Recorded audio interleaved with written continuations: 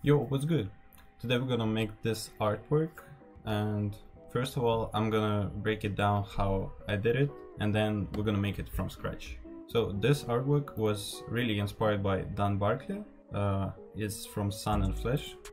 What I really like about this art is the texture is it's like so minimal but it's you you still can see it it's not like super crazy it's like it shows just a little bit. It's it's nearly full black but it's not full black you get me?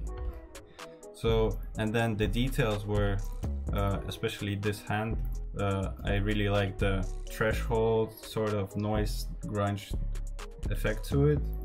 So I wasn't intentionally making it but as soon as I started working on the art I kind of understood that this was the inspiration so all we're gonna need for this art is just two pictures, two details, and the texture. That's it. That's the most simplest cover art ever.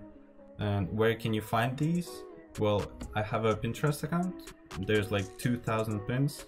You can find me at whxmio and just click on all the pins. And you can scroll through this like for hours. There's so much inspiration and so much vintage stuff that that you you're probably gonna find something that you like. So you just gotta find a couple pictures from here maybe some details stuff like this and then just implement it in your art. So this was the picture I used. I used this hand picture. It reminded me of this hand from Dan Barclay and I'm gonna leave a link to this pin in the description. So let's start. Uh, well I have a text with nearly no effects to it. We have a detail on top of the text some more details and then this grungy picture which is combined of two pictures.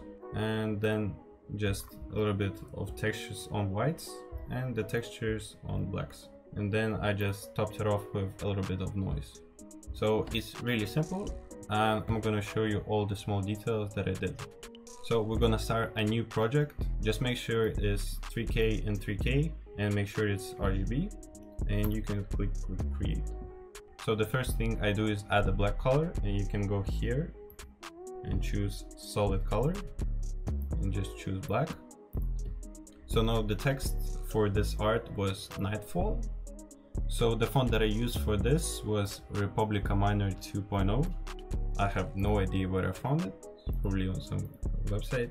And I'm gonna link this font in my Discord, so check that out.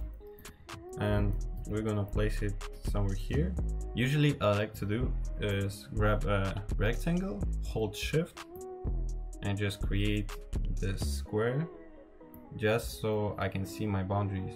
I use it as white and you can click on Control A, put it in the middle, Control D to deselect, and now we can make it a little bit bigger, or I, I think it's enough. Just lower the opacity, and now you have like a imaginary border that you know where where should everything be.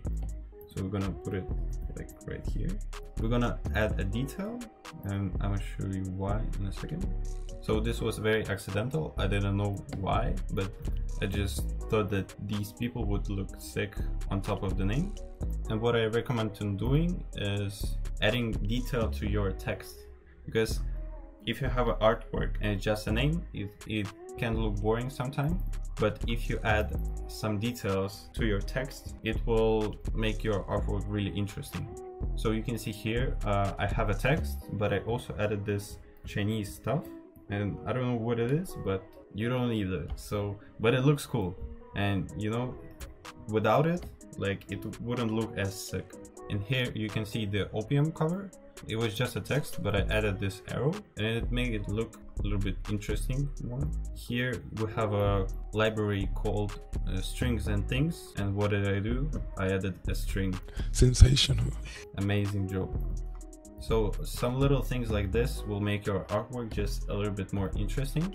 For example, here we have just a text, but I added this shiny thing and now it looks like nothing else. You know, it doesn't look like a basic text. It looks something, something different. Here, for example, I had just a name and I put a sword through the text like a kebab or something. And I don't know if it looks super good, but you know, it's just something that something different. You know, so think with your head, try to get creative, and you will be rewarded. I wanted to make this black, white, and red because I love red so much, and I wanted to just have a black and white cover art with red accent. So we're gonna turn these people into red. First of all, we're gonna invert the picture, Control I, and now we're gonna get rid of the black color by using Control M. And we're gonna switch this just to get rid of the black color. Now we have pink people, and we're gonna use Control U, bring the hue to make them red. We're gonna increase the saturation just to see the actual color. Yeah this is red. And we're gonna bring the saturation back to zero. So now we have red people and we don't need this text so we're gonna use this polygonal lasso tool. We're just gonna cut the people out you can hold shift uh, while cutting to make it easier.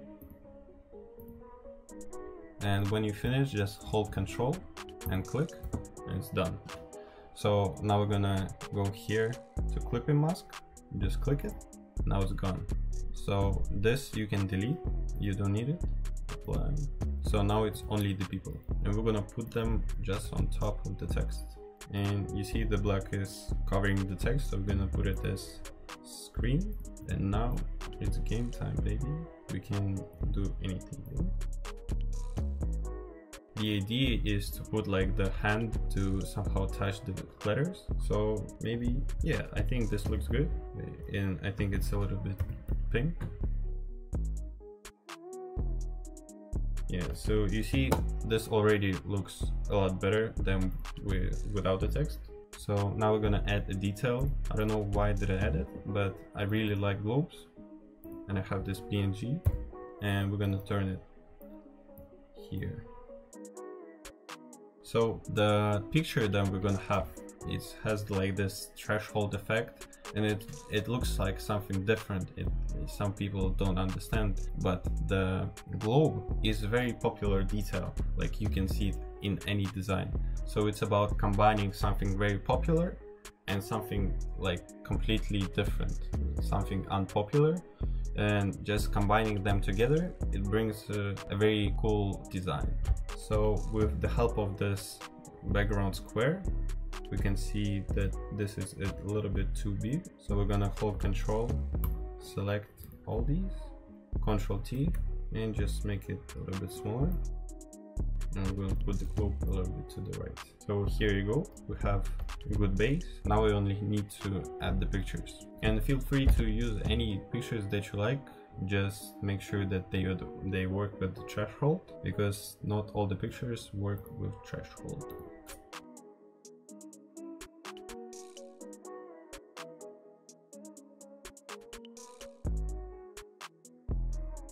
make sure to put the picture uh, under all the layers because threshold gonna affect all the layers beneath it. Now we're gonna go to the adjustments and to threshold. And you see now it looks like what the fuck. Uh, I'm gonna try invert it because it's too wide. Control I.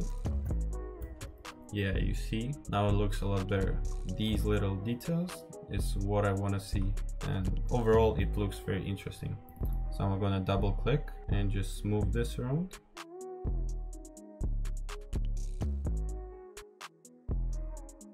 This looks good. Uh, yeah, but we need space for the second picture. So I wanna just cut it a bit. You can select it and just press Ctrl X and it will cut it. If you like the previous one, you can press Ctrl Z. It's gonna bring back and Ctrl D to deselect. So now it's time for the second picture. And I really didn't know what to use. I was looking for pictures and some of them weren't working. But the good thing is when you are on Pinterest, just download pictures that you like, that you don't gonna even use, just so you have a collection of random pictures. You see these all pictures are downloaded by me. So when I work, I have a lot of different ideas bunched into one and I can use anything. So it was very random. I found this this picture. It looks like this without the threshold. So we're gonna use Control M to get rid of the black color. Yeah, maybe just boost a little bit of the highs. And I'm gonna apply the threshold to it. You see threshold, there's not enough white color for the threshold to work with it. So we're gonna con press Control M again, and we're gonna boost the whites as much as we need to. And you see it's coming along. We can also bring back the, the darks, so we can, you see it makes it a little bit more crisp when you lower the, the dark. So once you like the effect, you can just press OK. And usually you would press screen but this time uh, because of like overlapping I I thought that I would use it as normal and just cut it. And you see how the square really helps you out. It makes you understand where you are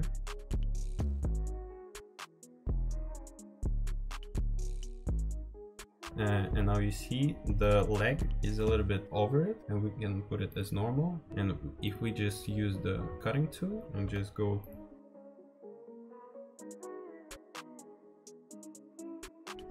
control X to delete it and you see it will overlap this picture and I think it will make it really good.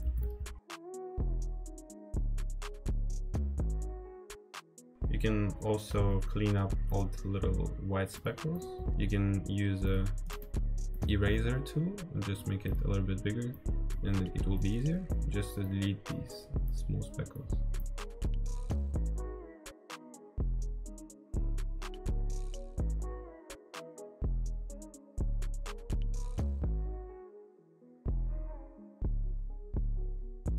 So now we have a really good clean cover. We just need to add the effects and textures.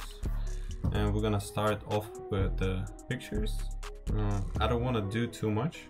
If we take a look at Dutton Barclay, he put the copy scan texture on top of the whites. It gave a cool effect, but I think for this one, uh, I bought Studio Innate printed textures and it has a really cool thing as toners and what it does it just affects the white color and you see it's kind of it's very weird but it looks like this if you invert it like is this printed noise somewhere?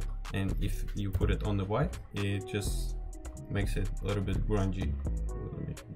And we want to affect the text and the detail as well so we're gonna put it over and now it affects everything. Uh, you see or when you use pictures from internet and you use them as JPEG, they all always have like a little bit of blur to it. Like you see, they're not fully clear, even this PNG. So when you have a text that looks like super sharp, it makes it stand out and it's not a good thing, at least in my opinion. I think you should just round, round it off so it looks natural. So we're gonna use Nightfall and we're gonna convert it to a smart object. Now we're gonna go to filter, blur, Gaussian blur, and you can use one or two, even three, but three is like for super vintage. So I'm gonna use just one. I think it's gonna be enough. Now it looks a little bit natural. So now I think only thing left to do is add the texture on top and you can use any textures. I, I was looking for like a very simple texture, like not a lot, just so you can barely see it, but it's still there. And I found this from Vintage Papers. We're gonna stretch it by using Alt and Shift. You see the texture is like, there's not much going on, so it's perfect. We're gonna press Ctrl I to invert it, Ctrl Shift U to desaturate it, and now Ctrl M to make it darker. I want it to like be super little, like you can barely see. I think that's gonna be enough. And we're just gonna press screen. And now you see, there's not much to it. Like the, the white is not completely white, it has some texture and the background is not completely black. Like it has a little bit of gray in it. And those little details will make your artwork like look a little bit better. Now we're gonna press Ctrl Shift and select all the layers. We're gonna group them and we're gonna hold Alt and duplicate it. Now we're gonna convert it to a smart object. Uh, and here you will see the actual results of threshold. Why we duplicate it? So that we, we can do changes to this layer, for example, invert it and do anything to it. But if we, we wanna go back, we can always work with these layers. So this is like a safe check.